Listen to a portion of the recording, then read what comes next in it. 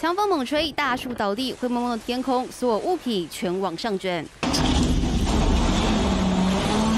就连铁皮屋也撑不住，整片屋顶被吹掀，甚至还有行进公车差一点来不及闪，就要被落下的大树击中。